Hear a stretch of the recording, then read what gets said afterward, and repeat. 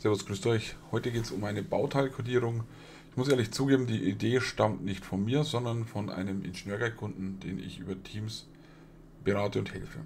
Und dabei ging es um einen, eine vordefinierte Kodierung, die Sie benötigen an jedem Bauteil, wo gewisse Informationen dahinter stecken. Da ich jetzt nicht nachgefragt habe, ob ich dieses Büro bewerben darf oder ob ich das zeigen darf, so offen, an deren Projekt oder sonstiges, habe ich deren Name ausgetauscht im Attribut für Like. Das soll, hoppala, Schluck auf, soll ein Hinweis sein für euch.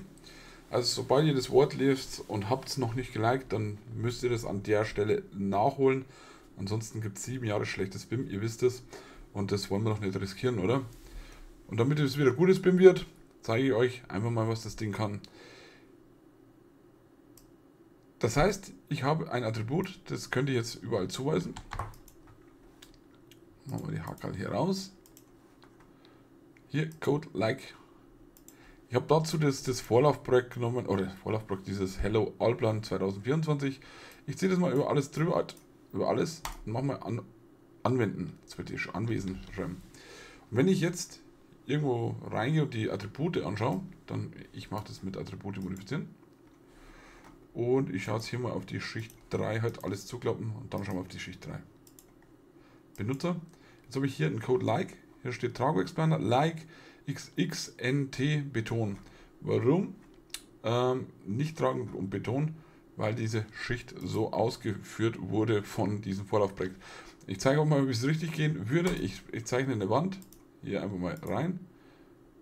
So. Ja, wir haben sogar in der Perspektive. Und jetzt hänge ich auch hier dieses Attribut mal an. Dann wird es vielleicht etwas schöner und klarer, was damit passiert. Wir schauen uns das an mit Attribute modifizieren. Klappen wir alles ein, gehen auf Benutzer. Und jetzt haben wir hier Tragwerksplaner, Like, das ist die Firma. Das ist eine Wand, tragend, Holz, massiv, cool, oder? Das ist, so, so ist es gelebtes Film, oder? Jetzt schreibe ich aber da mal rein, was gibt es noch? Beton natürlich. So. Und das aktualisiert sich jetzt gleich. Also es ist aktualisiert, wenn es beschriftet ist. Kein Problem. Wir schauen nochmal rein. Ja, Beton. Ähm, tragen, nicht tragen, da gibt es ja irgendwo so einen Haken zum Setzen. Wo ist denn der? Seine Geometrie? Nee. ID? Nein. Sonstige? Nein. Dann ist es halt da oben irgendwo. Was soll das? Deaktivieren wir mal. Ich weiß nicht, ob es automatisch aktualisiert ist, aber jetzt auf jeden Fall. Jetzt ist es tragend. Moment. Ah, hier. Nicht tragend. Jetzt wird es zu nicht tragend. Okay. Das Ganze funktioniert natürlich auch bei anderen Bauteilen, wie zum Beispiel Stützen. Mal hier reinsetzen. Gehen wir auch hier rein. Attribute. Code like. Hier wurde auch automatisch eine Stütze erkannt. Und ich lasse das alles auswerten aus der IFC Entity. Hier, Hier schaut es aus, als würde es nur so 20, 30 Stück geben. Es gibt aber über 600, laut Google sogar über 800. Ähm, weiß jetzt nicht, was das stimmt. Ich habe dazu ein extra Video gemacht, wie man die komplette Liste abfragen kann.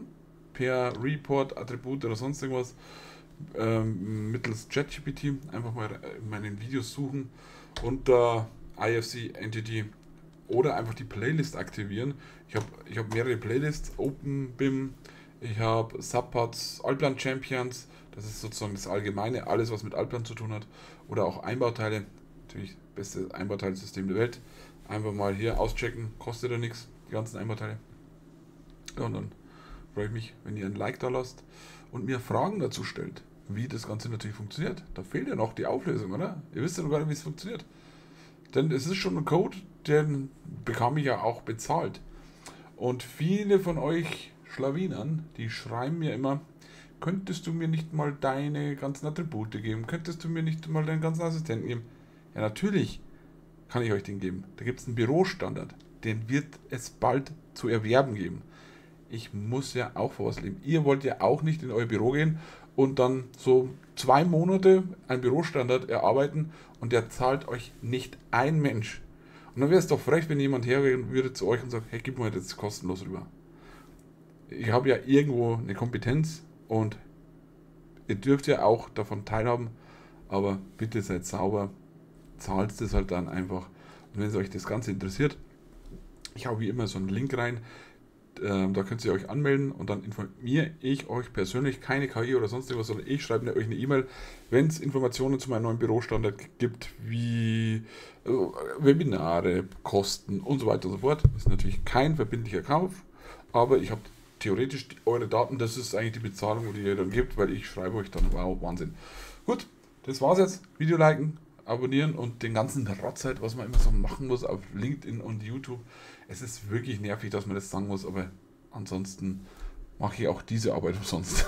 Es ist ja aus Ciao, wieder.